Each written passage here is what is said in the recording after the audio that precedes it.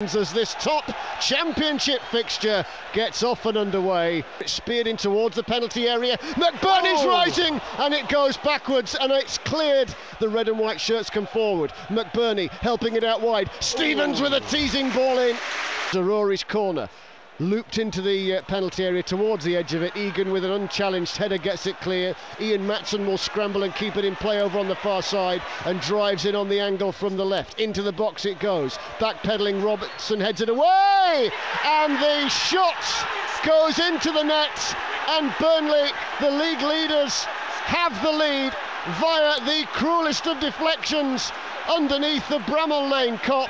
The shot was fired goalwards. I think it cannoned off Jack Robinson and flew past Wes Foderingham, who couldn't then get across.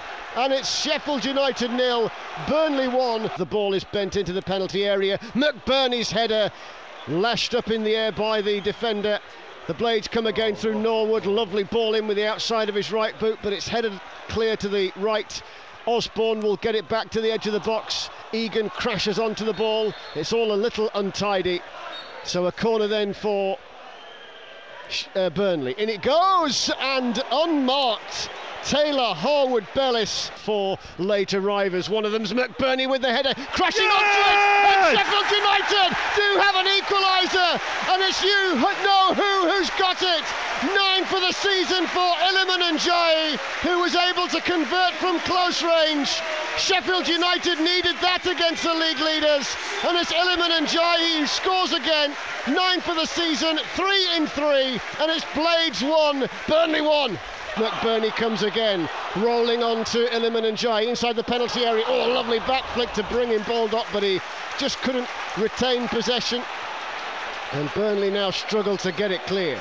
Benson, though, is the release valve down the right. Off he canters to the edge of the penalty area. The ball's pulled back in, a little fortuitously. The ball will come here through to Zaroury. Zaroury will take it. The ball floats high into the penalty area, attacking the clearance. McBurnie out to Maatsen, Oh, what a save. who drills the shot. Osborn cuts in field to Norwood. First time ball along the deck by Norwood again. He's beginning to conduct. In goes the oh, cross, and the ball will drop in now to Stevens. Yo! Deflected by McBurnie Goalwards, blocked on the line. Stevens follows up again, trying to challenge, then go long, a little bit more route one. But as uh, Tella was the target on the edge of the box, it was uh, telegraphed towards Wes Foderingham, and now Robinson's lost out. Here's Benson in the box, and Sheffield United are made to pay. Hopelessly sloppy at the back, and the one player you didn't want the ball to drop to was Manuel Benson, who gave Jack Robinson a torrid time cantered into the penalty area, opened up his body, shaped a shoot to the left of the goalkeeper, West Foderingham, and the shot nestled in the bottom left hand corner of the net. Sheffield United, the masters of their own downfall there, having got back on top, and it's Sheffield United 1, league leaders Burnley 2. Burnley will look to go further clear at the top of the table. So, half time, the whistle has just been blown. So Robinson will prepare to take the uh, throw in. The black towel has been used to wipe the moisture off the ball. The throw in launched high into the penalty area.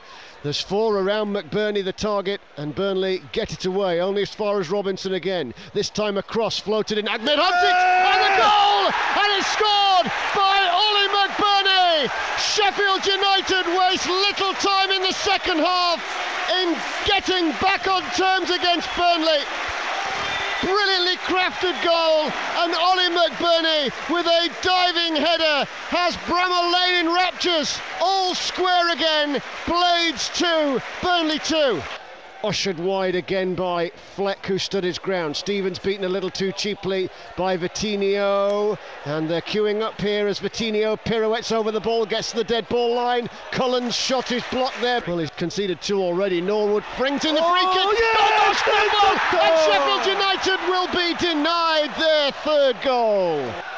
Trailing 2 1 at the break, and Oh. Ahmedhodzic with the overhead kick from just inside the box. It spliced away from goal. Muric didn't have to make a save. Norwood's corner from the right hand side then. Speared in at the near post. Stevens the target, partially cleared away. Out it goes to Osborn. Cries a shoot. Well, he did so. Six red and white shirts in the penalty area to aim at. Norwood and Osborn a little further afield. In it goes! Yes! And the header crashes off the bar. Goal Yes! And it's gone in! And Sheffield! United have taken the lead. And would you believe it? It's Jack Robinson whose own goal started the scoring here at Bramall Lane. Well, isn't that swift redemption for Jack Robinson, who's mobbed by his teammates and celebrated by all around here at Bramall Lane? It was a goal mouth scramble, and Jack Robinson was Johnny on the spot right in the nick of time. And Sheffield United lead in this engrossing championship encounter by three goals to two. And here's Iliman Ndiaye looking for another. Through it comes to McBurnie! Oh, saved by the legs of Muric. Norwood's corner from the right. In it goes! And it's a fingertip save by Ari Muric at full stretch. In comes another oh. corner. This time it's a diving save. Trying to make hay while the sun shines here. Norwood's corner. In it goes. Out to Osborn. Goalmouth scramble again. Shooting chance! And at last, Hodzic has scored. He's had one effort saved. He's had one effort crash off the bar. But as the ball dropped to his feet, it was a beautiful turn in a congested penalty area. And he swept it in from close range. And Sheffield United have swept into a 4 2 lead against the league leaders. Fantastic, fantastic stuff at Bramall Lane.